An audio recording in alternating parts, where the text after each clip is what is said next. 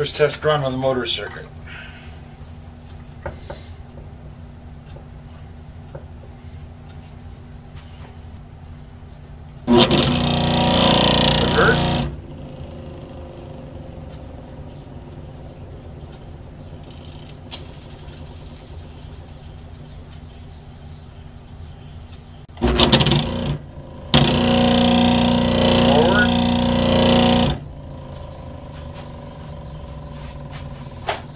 Success.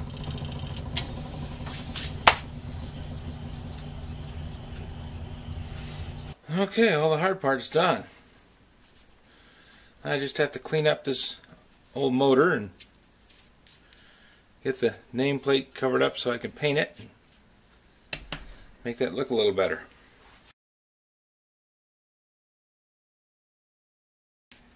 The last step in the process is to remount the motor after I have the motor and the frame cleaned up and painted.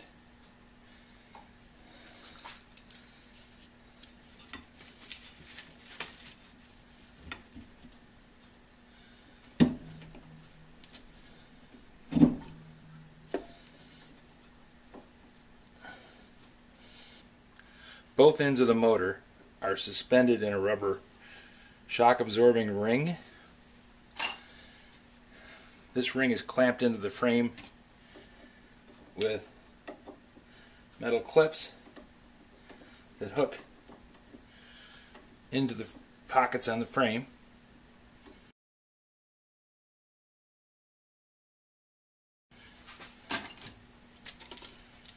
Like so. This goes into there and that slips into there.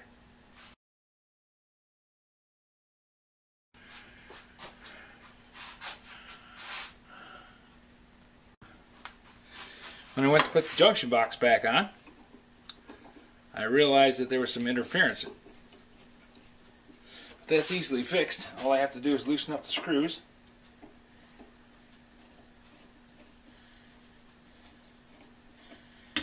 And I can rotate the motor inside the frame.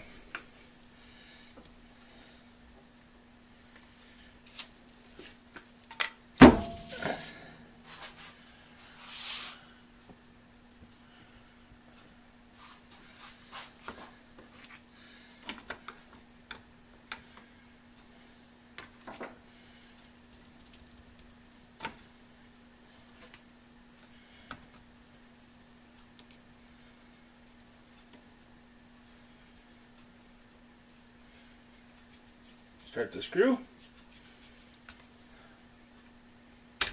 Pop up the little plastic ring, and we're good to go.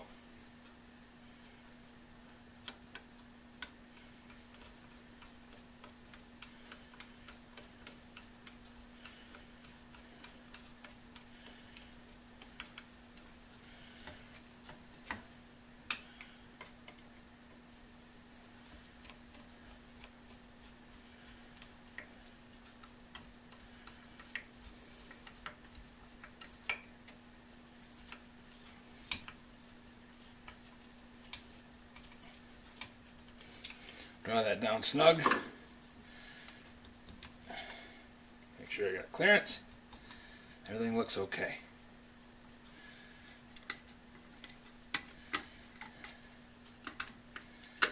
Now all I have to do is tighten these screws up.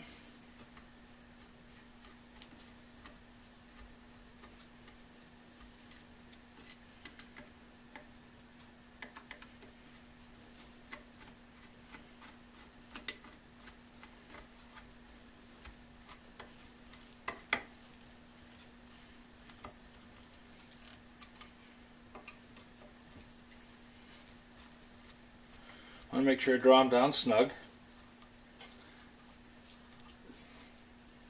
I don't want to strip the threads. This motor gets a lot of vibration from running, and I don't want it coming loose.